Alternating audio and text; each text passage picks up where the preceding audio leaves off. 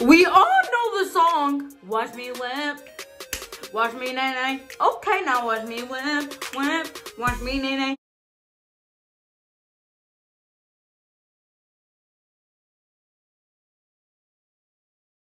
Y'all all know that song, right? Well, the guy that made that song is Silent Silento. And y'all want me to tell y'all what Silent Silento did? He's an idiot for this. Whole idiot. He killed his 34 year old cousin with a gun. With the gun! What's your problem, dude? Like, Silento, he got famous for the whipping Nae Nae. He's a one hit wonder. But he did make some good money. But in my opinion, Silento should never have done that to his 34 year old cousin. What is wrong with him? You make millions of money. Your net worth is like a good 5 million. And you want to do that.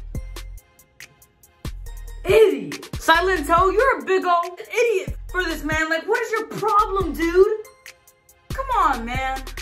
One hit wonder. Now you're in jail.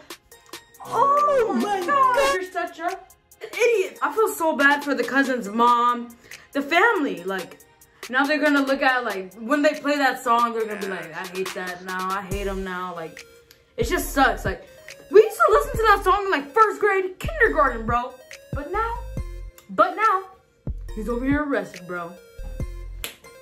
Silento, you made a big mistake. Idiot. Anthony Davis, don't deal with the belly. Straight out the mud. We got that work to turn you to the grub. You slow like a snail, you get hit with these slugs. I say how I feel and I do what I want.